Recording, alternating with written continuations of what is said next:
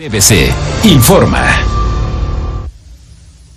Ya estamos de regreso y bueno, en la línea de Mega Noticias TVC tenemos a la coordinadora del programa de competencia económica de México Evalúa, Fernanda Ballesteros, para entrar a este tema que le digo es un tema espinoso, el tema energético. Fernanda, ¿cómo estás? Un gusto saludarte. Hola, buenas tardes, muchas gracias por la invitación. Muchas gracias, Fernanda. A ver, eh, de entrada, dime, eh, ¿es verdaderamente tan, tan relevante eh, la entrada de las nuevas reglas energéticas? ¿De verdad impacta, realmente golpea a la industria y a los consumidores? Pues sí, nosotros pensamos que sí, y este es sobre lo que hemos escrito ya en varias ocasiones.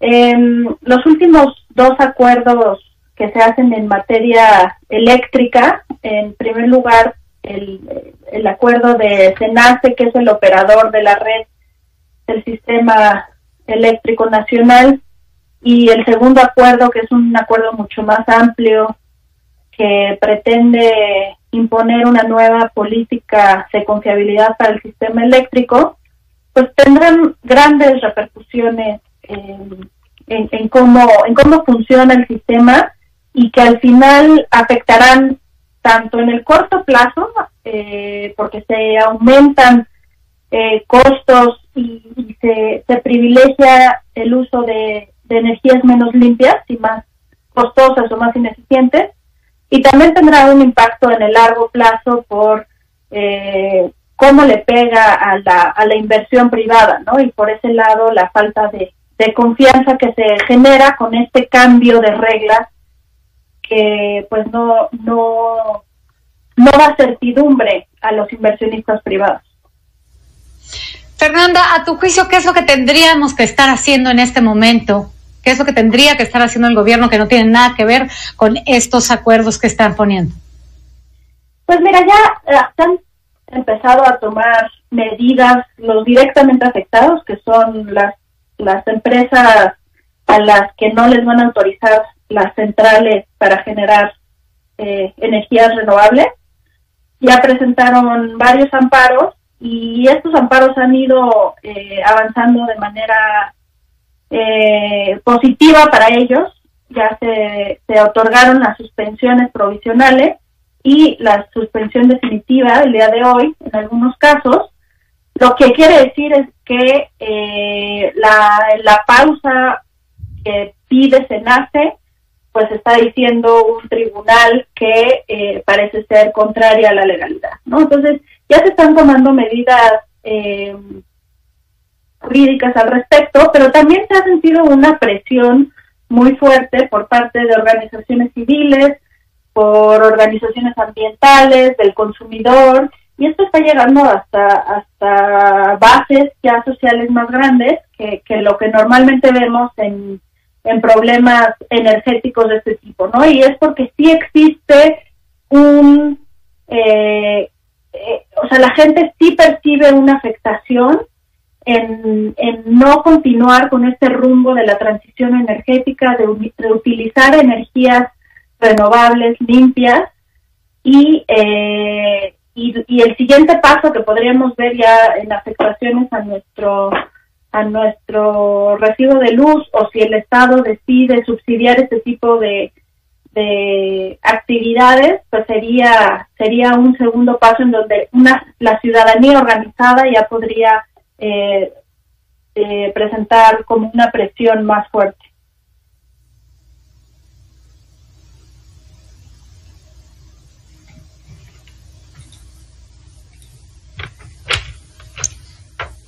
Así es.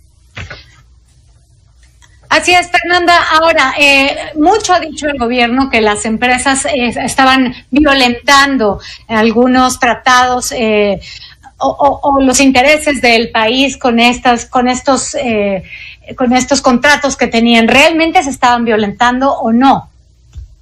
Pues no lo ha podido señalar, no lo ha podido señalar de manera concreta, ¿no? Se, se han mencionado contratos leoninos en este caso de las energías renovables, pues no queda claro todavía a qué contratos se refieren.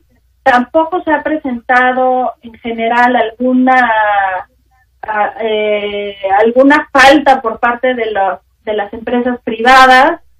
Eh, entonces, en realidad lo, lo que se ha manejado desde, sobre todo desde la Secretaría de Energía, es que había un trato inequitativo con la Comisión Federal de Electricidad, con la CFE y las energías renovables, ¿no? Pero ese trato inequitativo, pues tampoco se entiende o tampoco tiene, eh, digamos, no tienen los privados la culpa de que las plantas de CFE en generación sean más costosas y menos y menos limpias, ¿no? Entonces, eh, ahí es donde no parece justificarse el dar un trato preferencial a, la CFE por el simple hecho de ser una empresa estatal y quienes se ven perjudicados en su bienestar somos los mexicanos.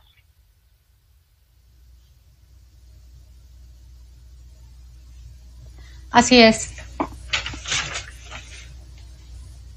Así es. Ahora, dime una cosa, el impacto que, se está viviendo en estos momentos en cuestión energética no, y, y, por lo que está atravesando nuestro país, no nada más tiene que ver con que no estamos apostando, a diferencia de otros países, por energías limpias. Se ve que la transición va hacia allá, al menos a nivel mundial, y México está haciéndolo hacia atrás. Estamos dando pasos de cangrejo. Ahora, el impacto no solamente se ha dado en la demanda debido a la falta de movilidad.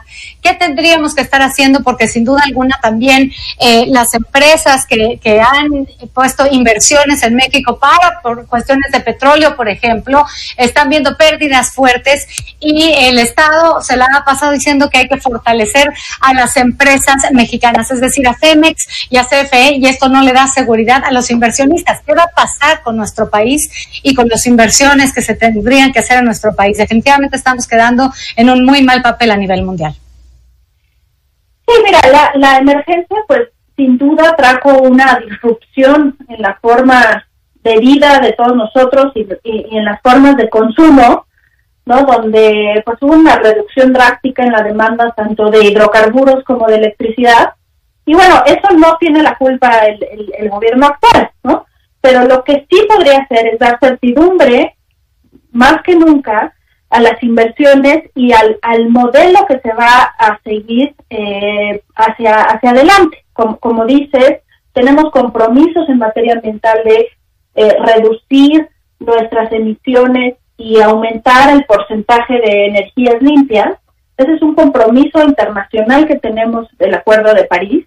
Entonces, eh, utilizar la emergencia como una excusa para sacar del mercado a las energías renovables, pues sí es un es una acción directa del gobierno eh, eh, que afecta mucho, ¿no? Entonces, yo creo que ¿qué debería de estar haciendo? Debería de, de, dar mayor certeza, de, dar mayor, eh, de seguir sus compromisos que, que ya ha hecho y buscar que en esta situación tan complicada que nos tocó vivir a todos, pues existan esa, esa claridad en la política que se va a seguir en el caso de México, como en la mayoría del mundo, era ir, ir transitando hacia, hacia energías renovables.